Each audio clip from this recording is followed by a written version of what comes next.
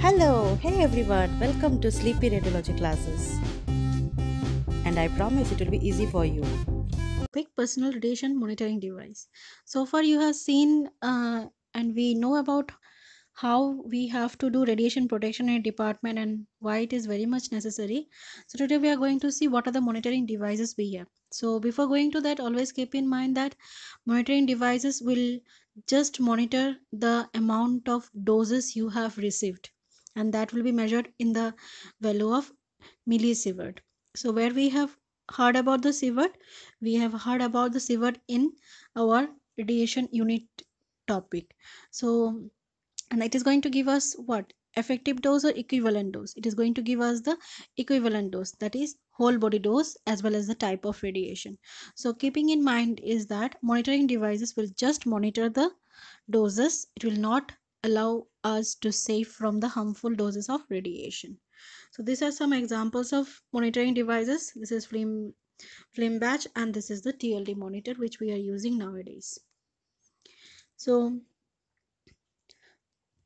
so before going to our main topic, we want to know what is radiation monitoring. So monitoring is a, a step which we mainly do in radiation areas to measure the doses of radiation. And how we do is we are using the dosimeters. So we have various types of dosimeters. So dosimeter is the one who is measuring the doses of radiation. How we are going to ensure it? Um, so we are ensuring it uh, for both personal purposes also as well as for area purposes also.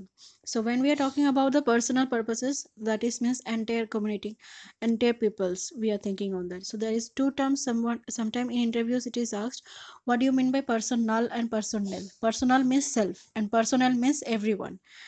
And uh, for area means entire area we are going to survey whether there are or how much there are doses of radiation to ensure such kind of safeties um, this is not only for the departmental staffs it is also for the patient as well as for the publics and test society we are going to keep in our consideration. Next is all these things are regulated by atomic energy act 1962 and it is a mandatory part for radiation protection rules 2004 and uh, to be frankly now we are following the icrp guideline 2017 113 next is um, the it was the uh, it was initiated in India in 1975 and BARC was the first to take the initiative for bringing the personal monitoring device that is TLD batch in India for protection purpose. Next is coming to the various types of monitoring devices. We are dividing them into two types. One is personal monitoring, means self, and area monitoring, entire area. So personal monitoring, we have first the film batch, then we had the TLD batch. Next, we we have for instantaneous doses, we are having the pocket dosimeter which gives you instant dose of radiation. And we have newly we have the OSLD optically stimulated luminescence dosimeter. Next is coming to the area monitoring devices we had ionization chamber. Next we had the GM counters scintillation detectors. Recently we are having on market is MOSFET and gap chronometers so talking about the personal monitoring devices it is mainly designed for personal use means it will be used for personals not for area purpose. And it is only limited to one person only. Next thing is you cannot give this device to other persons for use also. If it is for you means you have to only use this one. You cannot share with other person next thing is it is mainly designed to measure the occupational absorbed dose. So whatever doses you are receiving during occupation? Means when you are working in the department that is the main purpose of these devices and ensure that this device also ensures that your doses are within the limit. And for this reason we are having measurement in quarterly methods it's like three months four months six months like that.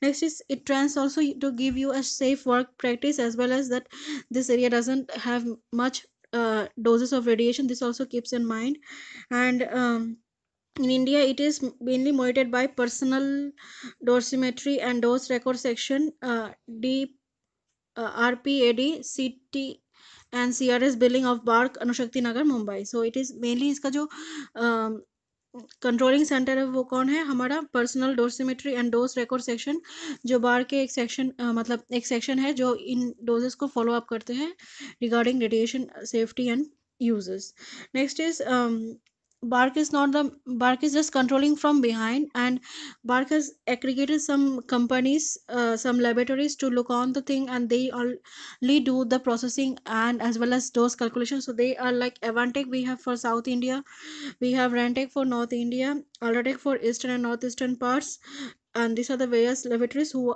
are given permission uh, to provide personal monitoring services dose measurement calculations everything all over the india and they are directly reporting to bark next thing is why we require criteria for ideal devices are um, we have to keep in mind that our devices should give us instantaneous report मतलब जल्दी report देना चाहिए distinguish between the different types of radiation various types like yeah, whether it is alpha beta gamma or x-ray so this thing also it should keep in mind next is to detect the energy levels whether it is low energy or high energy level that one also it should have the criteria it should be light in weight easy and for use and it should not be expensive also and should handle the conditions like heat humidity or pressure and unaffected by non-ionizing radiation. So as we are also having mri and ultrasound non-ionizing zones this thing also you should keep in mind. So these are the various categories of personal monitoring devices we are using. We are using film batch and that is mainly for x-ray beta and gamma radiation and it ranges from 0.1 to 1500 millisievert doses it can measure. So ये high radiation भी measure नहीं कर पाते और below radiation भी measure नहीं कर पाते। बट एक क्राइटेरिया इसका है कि it is very much good for permanent record also next thing is we are having the T L D badge which is mainly for X ray beta and gamma radiation and this is having from zero point zero one so that means it is capable for measuring the low doses as well as the high doses but permanent records we can do once you are hitting the badge automatically the doses gets uh, removed. Next thing we have the osld recently launched machine. Unless and until you hit it with laser light the doses will be recorded. And this is also capable for measuring x-ray beta and gamma rays as well as we can measure the low and as well as high radiation also. Next thing we have the pocket dosimeter and it is giving you the very good it is very much useful for um, getting the instant doses. So this thing is mainly used in uh, for measuring the instant doses of any procedure like whatever procedures you want to do. In bedside also it is very helpful. It is used for research works also as well as it is used for calibration purposes in our quality assurance purpose. So mainly in quality assurance we are not using the other three devices but we are using only the pocket dosimeter next thing is we are going to move to the flame batch and flame batch is the first uh, personal monitoring batch launched uh, in the radiation area and radiation field. So you can keep in mind now we were uh, so far knowing that film was film was a device to record the image but now you can say film is also a device which is simultaneously recording the image as well as it is used for radiation monitoring purpose also तो जो film badge था film तो film का मतलब क्या था वो एक डिवाइस था जो इमेज को रिकॉर्ड कर रहे थे हमारे रेडिएशन एरिया में बट अभी आपको क्या और एक फ़ंक्शन मिल गया कि जो हमारा फ़िल्म बैच है फ़िल्म जो है, वो दूसरा उसका काम है कि वो एक्सटर्नल डोज मेजर करने में भी हेल्पफुल होते हैं। और ये जो फ़िल्म बैच है it is mainly use for individual purpose mainly to record our X ray beta and gamma radiation as well as thermal neutrons also और इस फ़िल्म बैच का क्राइटेरिया क्या है? It has a packet loaded with film so, this is the film. And mainly we are using the IOPA film, intraoral periapical small films and this is loaded on the plastic cassette holder which is made up of stainless steel. So you can see it in the film. This is the film and this is the film batch holder. And the criteria of this batch is it is having both metallic filters on the both sides. So these are the filters and the film is sandwiched between the two filters to record the images. Side by side this is having a, a clip also to hold mm, uh, for uh, the patient uh, for the staff's users. And this film batch is of three types. One maybe chest wrist as well as head holder. So this flame batch uh, is using the, um, uh, for each measurement it requires dark room so, this is also one of the disadvantage that it requires dark room as well as the film. When it is exposed to any kind of temperature, अगर ये किसी temperature, जैसे कि अपने बहुत दिनों तक film को स्टोर करके रखा है तो उसमें क्या आ जाता है? फॉग आ जाता है। तो ऐसे ही सेम हमारी इस फ़िल्म बैच का जो रिकॉर्डिंग था, उसमें फॉग आ रहा था। ये टेम्परेचर ह्यूमिडिटी हीट प्रेशर सब कुछ के साथ उसका इफ़ेक्ट हो रहा था। साथ ही साथ ये जो डिवाइस है, उसके लिए डार्क रूम भी चाहिए फॉर प्रोसेसिंग और इसके जो रीडिंग्स होता है, हम लोग मेजर करते हैं विद द हेल्प ऑफ़ हमारा डोसीमीटर जो जो डेंसिटोमीटर होते हैं, उसी से मेजर करते हैं। डेंसिटोमीटर का पर्पस क्या है? टू मेजर द डेंसिटी तो फ़िल्म बैच में क्या होता है? जितना आपका रेडिएशन लगेगा, उतना फ़िल्म ज़्यादा ब्लैक हो जाएगा। तो the film will become more black that means the more the film is black the more the radiation dose you have receive so high you are going to measure the this blackness so we know the density is a thing to measure the blackness so same thing in film badge we are using dark room technique to process the film और जो reading होता है उस reading को measurement करने के लिए we are using the densitometer more the blackness of the film more will be the doses receive to the staff so that was the main thing of film badge and the thing is it can be measured up to zero point two millisievert of doses and this film badge has two film at a time तो आप जब film batch use करोगे तो क्या करोगे?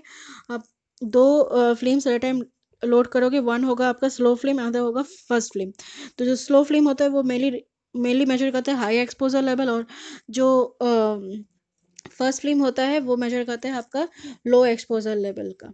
Next thing is the thing is this film badge is having six filters first one is the open window and open window doesn't have any kind of filter next thing is we are using the plastic and plastic is mainly to measure the beta rays. Next we have cadmium. So cadmium mainly to record the uh, thermal neutrons. We have thin copper. Thick copper to re- record our uh, gamma radiations and lead to record the x radiations. And keeping on mind this the thickness of each filter is 1 mm thick. And only the thick copper and thin copper is having the thickness of 0.15 mm thickness. So moving on this thing is advantages permanent record you can have but the thing is the film can not be store for long term जो film है, वो हम ज़्यादातर store नहीं कर सकते और उस मेज़रमेंट को मेजर करने के लिए हमको we need dosimeter so this with all this disadvantages we are moving to a new device and that is my thermo thermoluminescent dosimeter so unless and until you are heating it with any kind of heat thermal your device will not get missing of data means loss of data will not happen unless and until you are hitting it with any kind of heating devices so that is the uh, thing is that and it can withstand also high uh, pressure chemical and sensitive to light also so that makes it a very good as well as we doesn't require dark room इसमें dark room की ज़रूरत भी नहीं है तो with all these disadvantages we have moved to the TLD batch तो TLD का मतलब है thermo heat luminescence means one emission of light dosimeter so this thing is that when you are going to hit the hit the disc that time only it is going to emit light luminescence and it is going to produce the or it is going to give you the records तो समझ में आया TLD मतलब है thermo लुमिनोसन dosimeter तो thermo मतलब heat जब भी आप इस टी एल डी डिस्क को हीट करोगे वो लाइट इमिट करेगा और वो light will be converted to signals और वही सिग्नल्स हमें बता देगा कि कितना एक इंडिविजुअल ने डोज रिसीव किया है। तो mainly coming to the T L D badge is T L D badge is mainly use now it is in India and that is we are using the C S O four calcium sulfate discs only and uh, this is uh, very much useful for measuring the doses of x-ray beta as well as gamma radiation also. So that is why we are saying tld badge is not only used for personal monitoring devices it is also used in our radiation radiotherapy areas to measure amount of doses received to eyes how much dose have penetrated the patient body. So that is also helpful for them. Next thing is um, still now th- there is no record that it, due to huge climatic condition any fade of uh, records. So that is very much useful for us also. And um, coming to the parts of tld badges tld badge is made up of a plastic. So highly impact plastic with a nickel coated discs so are there. And it consists of two parts. One is a tld card and another one is my so this is the tld card another one is my tld cassette and this is the tld cassette. So coming to the tld card is it is made up of three cso4 is to uh, dipsium teflon discs and dipsium is the activator who activates once it is uh, used for processing. जब भी वो process करते हैं तब uh, जो डिप्शियम है डिस्पोजियम sorry डिस्पोजियम है वो एक एक्टिवेटर की तरह काम करते हैं और इसका जो थिकनेस है वो है zero point eight M M thickness और उसका डायमीटर है thirteen point two M M diameter और इस डिस्क में मेनली थ्री डिस्क होते हैं डी वन डी टू और D three and and this disc is enclosed in a black color wrapper.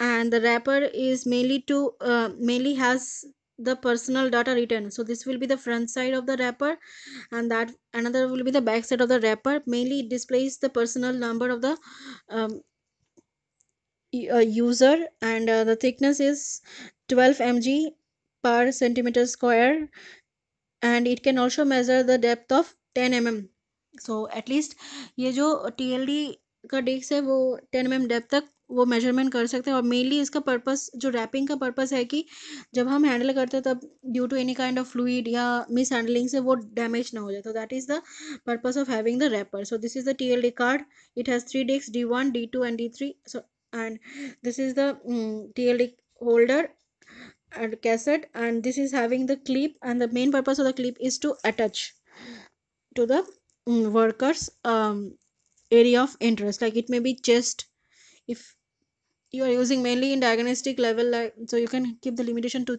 chest if you are working in nuclear field or any uh, any area where you are making the radioisotopes you have to use additionally wrist uh, hand and head tld batch also. Because that that's areas also coming in our contact.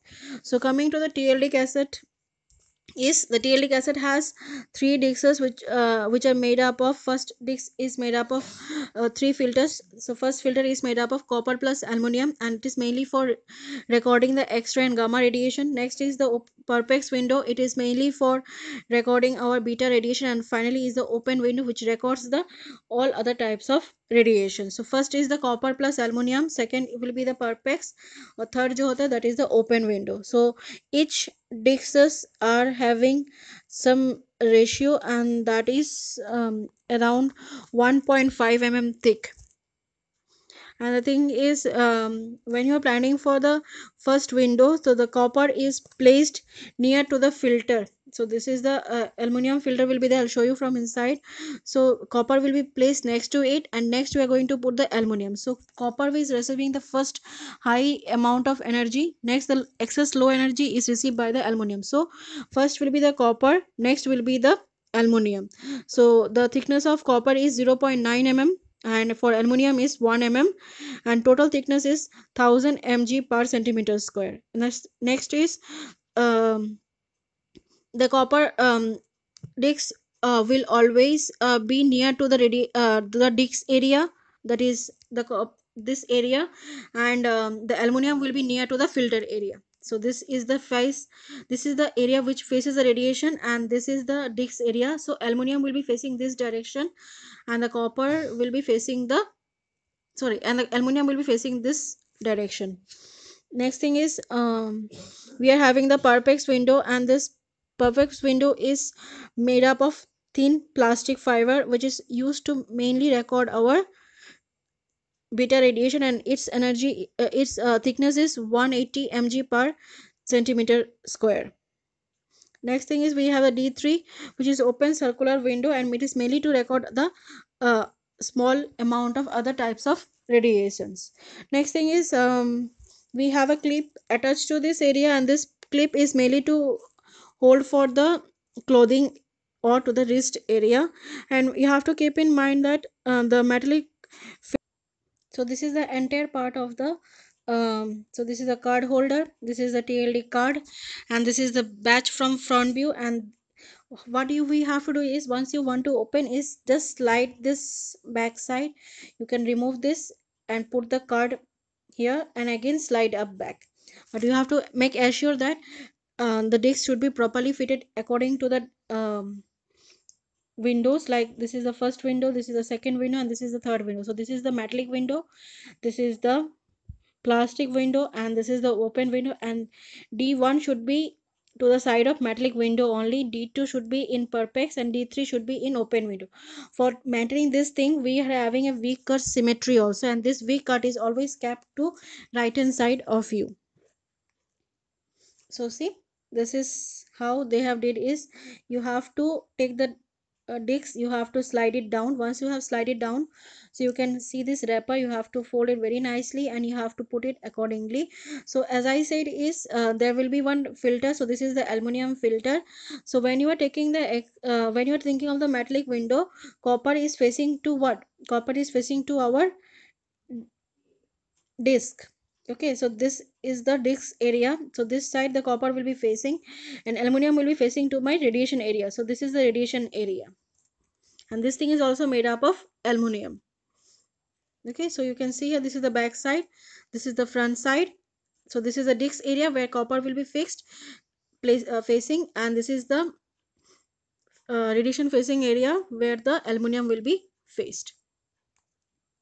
So next thing is we are moving to how the uh, TLD works. So we know about something called as valence bond and conduction bond. So once the x-ray comes so this is how x-rays are coming and it will strike on the valence bond area. From and this area will have all the ground state electrons. So this ground state electrons from this valence bond area will jump to the conduction area uh, creating a free area and this is called as the forbidden zone.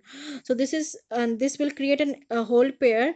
So from valence bond the electrons will jump to the conduction area and will get trapped. Why? Because they are getting activated. And who was the activator we are using is dy we are using the activator. Next thing is once you're hitting the filament what happens is once you're hitting the disc what happens is this um, electron from the conduction band will again try to return to its original state releasing some excess energy. And that excess energy is what is the information. So again i am saying is the electrons what happens is the um they are staying in the ground electrode. Once x-ray falls on the uh, this this electrons from the ground state jumps to the conduction area and they get trapped in the conduction area ये conduction area में trap हो जाता है। तो ये क्या होता है कि इसका अगर एनर्जी प्लस वन है जब एक्सरे आता है तो क्या होता है? वो एनर्जीज को एब्जॉर्व करके वो बन जाता है प्लस टू और प्लस टू होके वो एक्साइटेड स्टेज में चला जाता है। ऐसे। तो एक्साइटेड स्टेट से जब दोबारा आप इसको ग्राउंड स्टेट में लाना चाहिए तो आपको क्या करना है? आपको किसी न किसी एक्सटर्नल चीज़ से इसको हीट करना है। It may be light it may be heat so what we are doing in T L D is we are heating it so once we release the heat this electrons what happens is they remove the excess energy and this again comes to the ground state with its original energy and this excess energy is emitted as a तो एक TLD कैसे अपना process read out करता है तो वो करते हैं basically with the help of TLD reader so जितने भी डोजेस आप रिसीव करते हो तो वो क्या होता है कि जब भी एक्सरे आपके टीएलडी डिस्क में पड़ता है तो वहाँ पर इलेक्ट्रॉन्स जो है वो ग्राउंड स्टेट से क्या हुआ था एक्साइटेड स्टेट पर चला गया है। तो आप क्या करेंगे तो हर तीन महीने के बाद इसका रीड आउट प्रोसेसिंग होता है। तो तीन महीने हर तीन महीने के बाद it is send to the a और टू द लेबोरेटरीज तो उस लेबोरेटरी में आपके डिस्क जो है उसको टीयर करते हैं। टीयर करने के बाद वहाँ से हर डिस्क को निकालते हैं और एक रीडर होता है। देखो, ये जो रीडर है उसी में डाल देते हैं। तो ये जो रीडर है उसी में वो डिस्क वन बाई वन डाल देगा। डाल देने के बाद क्या होता है? इसी को हीट अप करते हैं। और वो हीट अप करने से क्या होता है कि वो जो इलेक्ट्रॉन अभी एक्साइटेड स्टेट में था वो ग्राउंड स्टेट में आ गया है। और ग्राउंड स्टेट में आने के इस टाइम पे वो क्या करते हैं? वो इमिट एक लाइट इमिट करते हैं और वही लाइट क्या करते हैं? पीएमटी के थ्रू रिसीव होता है और रिसीव होने के बाद वो एम्पलीफायर में चले जाते हैं और एम्पलीफायर से वो जो इन्फॉर्मेशन है वो इलेक्ट्रॉनिक्स से कन्वर्ट हो जाते हैं डिजिटल सिग्नल में। और फाइनली जो इमेज होता है वो रिप्रेजेंट कैसे होता है? एज अ ग्लो कर्व तो this is how the images are represent and it is represent as a glow curve so you can see here so this is how, this is a reader. They put the disc here. They heat it up and with the help of computer technology they can receive the images in the form of glow curve so this is how it is received. So this is all about we place the disc it gets heated it tries to emit light and this light is received with photo multiplier tube who converts one light photon into multiple light photons. Next thing is it is located on the amplifier and amplifier converted into electronic signal and finally it is given to the computer where the uh, computer converts into digital signals and display it to you as a glow curve. Okay. Next thing is um, cut off the values of TLD batches. एक radiation worker के लिए maximum dose limit क्या होना चाहिए twenty millisievert per year but not more than hundred millisievert that is a recommendation by AERB for pregnant ladies who are working in the radiation area उनके abdomen में एक special batch लग जाएगा fitters monitoring के लिए. तो वो है two millisievert per year during the month of pregnancy per year नहीं होगा during the month of pregnancy होगा, और दोस्तों वर्किंग न्यूक्लियर मेडिसिन उनको है वन मिली सिवर्ट पर ईयर जो नॉन रेडिएशन वर्कर्स है और प्रेग्नेंट लेडीज़ है, उनको टू मिली सिवर्ट पर ईयर और फॉर पार्शियल जो बॉडीज मेज़रमेंट कम करते हैं रीडिंग्स लेते हैं for survey and research purpose extremity में मैक्सिमम 500 हंड्रेड मिलीसीबट होना चाहिए और लेंस में 150 फिफ्टी मिलीसीबट अगर लेंस में ज़्यादा रेडिएशन लगेगा तो there is a chances of cataract two next is overdose का रिपोर्टिंग होता है कि चेस्ट में अगर आपका डोज डेली मेज़रमेंट में आपका डोज टेन मिली बट के ऊपर आ गया क्वार्टरली तो you will be recorded as receiving high exposure dose and then and then A B will send you letter to your department to your R S O and individually to you also that you should take precaution as you are receiving more doses तो बात यह है कि अगर आपने ज़्यादा dose receive कर लिया है मतलब एक चेस्ट रीजन में आपको मैक्सिमम से मैक्सिमम टेन मिलीसीबट ही मिलना चाहिए थ्री मंथ्स में। अगर इससे ज़्यादा हो जाएगा तो आपके ऊपर तुरंत ही एक्शन लिया जाएगा। जैसे कि इसका रिपोर्ट जो है वो आपको एज वेल एज आपकी इंस्टीट्यूशन को आपके आरएसओ को भी भेज दिया जाएगा एज वेल एज आपको तुरंत ही उसी डिपार्टमेंट से हटा दिया जाएगा to other non ionizing radiation areas जैसे कि एमआरआई हो सकता है अल्ट्रासाउंड हो सकता है और वैसे भी um, साथ ही साथ आपको रेडिएशन जो सीक लीव है फिफ्टीन डेज़ का विथ पे वो भी आपको कंपलसरी हो जाएगा। बट ये सब चीज़ें they will confirm with the use of like you have to undergo chromosomal test, you have to undergo blood test, and they will check whether you have intentionally exposed the batch और आपने intentionally इसको expose किया है या वाकई में आपको लगा है इस सारे चीज़ें का जर्ज होगा, फिर जाके आपको भेज आपको आप एप्लीकेबल होगे रेडिएशन सिक लीव के लिए। तो ध्यान में रखना कि आपका डोज जो है वो टेन मिली सीवर्ट के ऊपर ना जाए विद इन थ्री मंथ्स और जो रिस्ट एरिया है उसमें टू फिफ्टी मिली सीबट के ऊपर ना जाए। और बेसिकली जो व्यू जो अगर आपके values zero point zero five millisievert के नीचे होते हैं तो बेसिकली आपके जो रिपोर्ट होते हैं उसमें ज़ीरो बन के आते हैं। तो ज़ीरो पॉइंट ज़ीरो फाइव के नीचे होगा तो ये नॉर्मल है और basically zero point zero nine millisievert हो जाता है तो they give a warning and it shows us one. Next thing is uh, tld batch aap kaha ka use karte we are using mainly in the head areas in chest areas in abdomen area but when and wrist and in the fingers. So wrist finger and head is mainly for uh, nuclear medicine department and those are working in the radioisotope areas. And when you are using the tld batch it should be below the lad apron because lead we have to record कि lead apron पहनने के बाद आप कितना protect कर रहे हो? और लेड एप्रन से कित प्रोटेक्ट होने के बाद कितना आपके अंदर डोज आ रहा है? तो इसलिए हमेशा जो टी बैच है, वो लेड लेडाप्रिन के नीचे पहनना है, ऊपर नहीं पहनना है। नेक्स्ट थिंग इज़ जो आज का एक मेन इंटरेस्टिंग पार्ट है इस वीडियो का है कि हमने बताया था कि जो पेशेंट जो इंडिविजुअल का रिकॉर्ड होता है वो डिस्प्ले होते हैं इन द फ्रंट साइड तो इस डिस्प्ले का कुछ रीजंस है। जैसे कि देखो, ये जो नंबर है zero eight four six one six छः डिजिट का नंबर है that is the institution number मतलब हॉस्पिटल नंबर हो सकता है इंस्टीट्यूशन अगर है तो इंस्टीट्यूशन नंबर है। तो ये हमेशा हर पर्सन के लिए सेम रहेगा फॉर सेम इंस्टीट्यूट और जो सी सी है सी के बाद जो नंबर लगता है zero zero zero two that is your personal number तो हर इंडिविजुअल का अलग अलग नंबर होगा। मानो कि मेरे पास एक हॉस्पिटल है एक्स तो उस एक्स हॉस्पिटल का इंस्टीट्यूशन नंबर है क्या? Zero eight four six one six तो दैट इज़ इस नंबर से मैं समझ जाऊँगी कि ये जो बैच है, वो इसी इंस्टीट्यूशन एक्स इंस्टीट्यूशन का है। और सी से पता चल जाएगा कि अगर मेरे उस इंस्टीट्यूशन में टेन स्टाफ है। तो स्टाफ वन का स्टाफ ए का है वन स्टाफ बी का है टू तो ये जो टू वैल्यू है, वो स्टाफ बी का है। प्लस प्लस क्या होता है कि आप आपका जो नेम है, वो डिस्प्ले रहेगा। उसके बाद आपको, आपका टाइप ऑफ़ रेडिएशन रहेगा। गामा एक्सरे का रेडिएशन डिटेक्टर है या गामा एक्सरे का है, गामा बीटा का है, वो डिस्प्ले रहेगा। साथ ही साथ टाइम पीरियड रहेगा, जैसे कि देख सकते हो आप जुलाई टू सितंबर 2017 और कौन सी कंपनी का दिया हुआ है, ये भी मेजर ये भी डिस्प्ले रहता है। So that is all about how you can know what the front marking और front writing in the wrapper means to you. So this is what is all about the TLD batch. Next thing is I well you have a short uh, note how you can measure your doses so first thing is now everything if you want to re institution registration तो आपको इलोरा पे जाके आपका institution का registration कर सकते हो साथ ही साथ एक इंडिविजुअल का भी इलोरा रजिस्ट्रेशन हो सकता है after two years completion of the job having a two years experience certificate in proper radiation field next thing is uh, to so you have to go to ultratech Re- and Reven, or evantech any companies and you can download the from there to apply for tld there will be some charges like 600 plus gst 180 so around 780 charges will be there so it will be one year charges after one year again you have to do re registration but that time you don't need to have to pay for the gst and no need to pay uh, sorry not you don't need to pay for the new batch charge new holder charge only the amount of registration re registration you have to pay तो ये जो batch है इसका जो है हम्म, तो आप UltraTech एवनटेक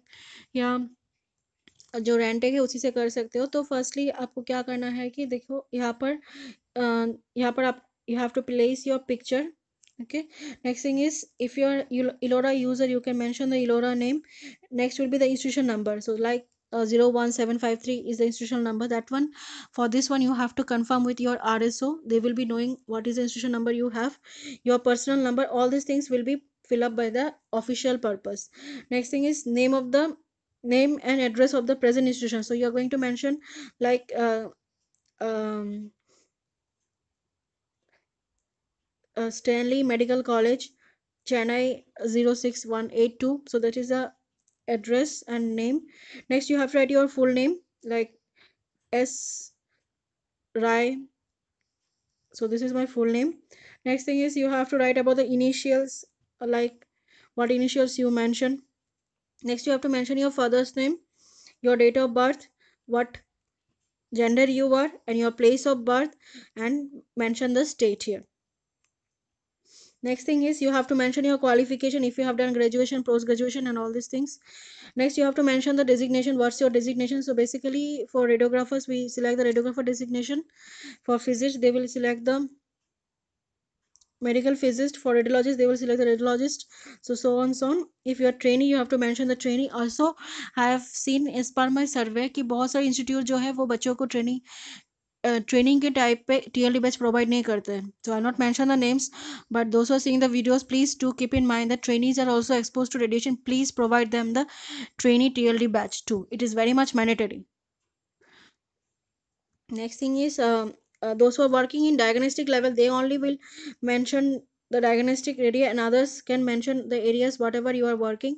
So basically the batch we are giving for diagnostic level and nuclear medicine areas and radiotherapy so you can uh, mark accordingly. Next thing is if you are going to mention uh, what type of employee you are re- regular casual or consultancy as per your type.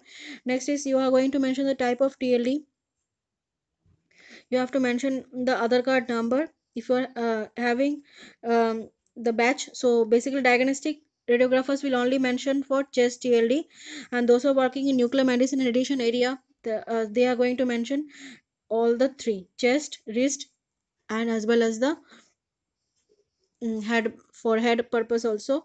Next thing is if you have worked in any other places before jo- having uh, joining to ne- new institutes so you have to mention your previous area if you are uh, from foreign you have to mention from foreign um, you have to attach your dose certificates also if you have that so those certificates you will be getting from your RSO and it's a right for every radiographers to get the doses जो हर radiographer है उनका right है कि मैं आपको RSO से मांगना आपका डोज रिपोर्ट क्या है इट्स वेरी मच इम्पोर्टेंट और हर और ध्यान में ये भी रखना कि हर तीन महीने के बाद आप जो हम्म, आपके डोज आपका जो टीएलडी बैच है, उसको चेंज करवा लीजिए और आपका डोज रिकॉर्ड भी जान लीजिए। और जो आप न्यू ज्वाइनीज है या ट्रेनीज है, किसी भी रेडिएशन इंस्टीट्यूट में ज्वाइन कर रहे हो तो तुरंत ही आप उन इंस्टीट्यूशन के जो आरएसओ है या डिपार्टमेंट स्टाफ है जो हैंड लुक ओवर कर रहा है, उनको बोलिए कि तुरंत ही आप लोगों के लिए टीएलडी बैच का इंतज़ाम कर ले before going to training so that is very much very much important if not please do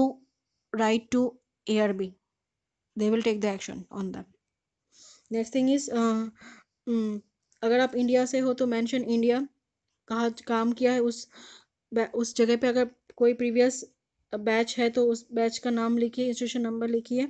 और एक बार ध्यान में रखिए कि whenever you are working in any field and you are changing the institute please do keep in mind what is institution number and what is your personal number so that when you are going for new badge you can write this thing also next thing is duration of work कब से कब किया है और previous duration का नाम क्या है? So this is all the formalities how you have to follow next thing is lastly you can see the declaration area so you have to mention your name and your signature and you have to get sign from the R S O and R S O should mention his name and you have to get the sign from R S O as well as from the head of the institution so this is how you have to fall fill feel TLD form. I think this will be very much helpful for you.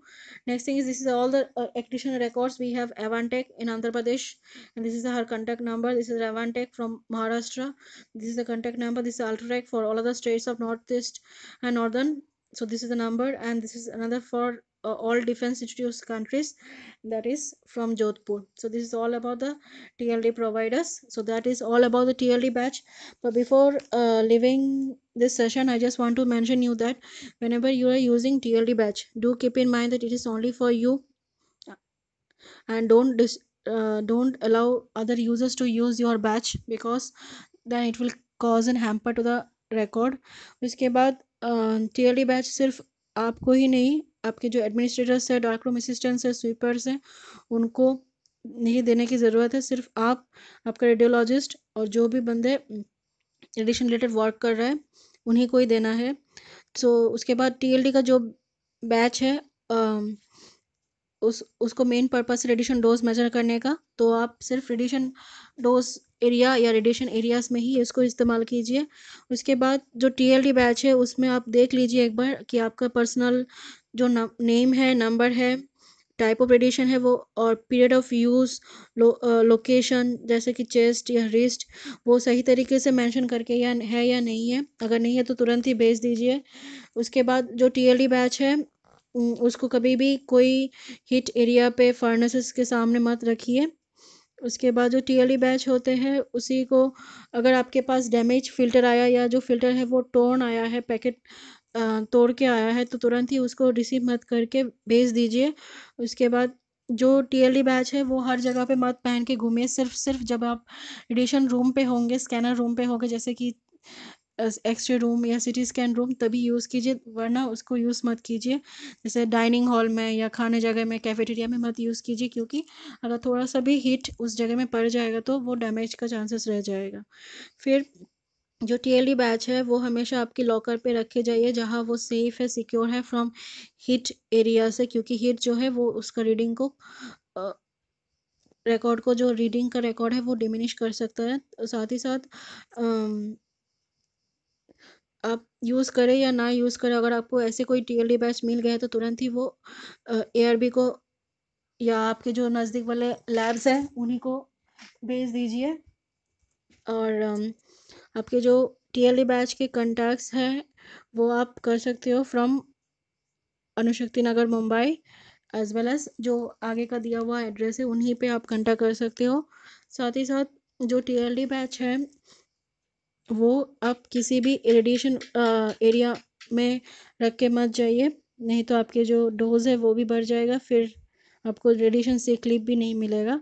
So that is all about our T L D batch and I hope you will keep it all in mind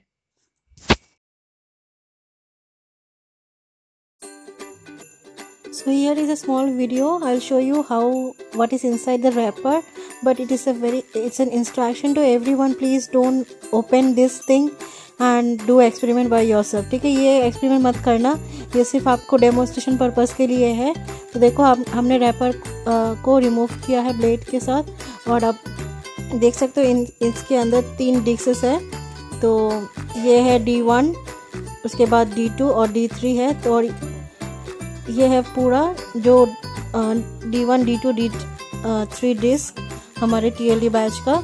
तो please please आप लोग ये department में मत खोलिए इसको। तो जो डी वन होते हैं वो इसमें मेनली कॉपर और एलमिनियम का सैंडविच रहता है फ़िल्टर का। ये डी टू जो है वो मेनली फॉर किसका? बीटा रेडिएशन मेज़रमेंट करने के लिए। और फाइनली जो डी थ्री है उसका मेज़रमेंट होते हैं for other types of radiation so ये थे हमारे तीन डिस्क ऑफ़ टीएलडी और ये है आपका टीएलडी रीडर तो इसमें आप देख सकते हो ये है मेन रीडर जो हमारा रीड आउट प्रोसेस करते हैं टीएलडी का। तो अभी मैं आपको दिखाएँगे, यहाँ पर देखिए, अब हमने डिस्क को डाल दिया है प्लानचेट में और इसको लॉक कर दिया, उसमें से अब हीट निकलना शुरू हो जाएगा और हमने यहाँ पर रीड बटन प्रेस कर दिया है।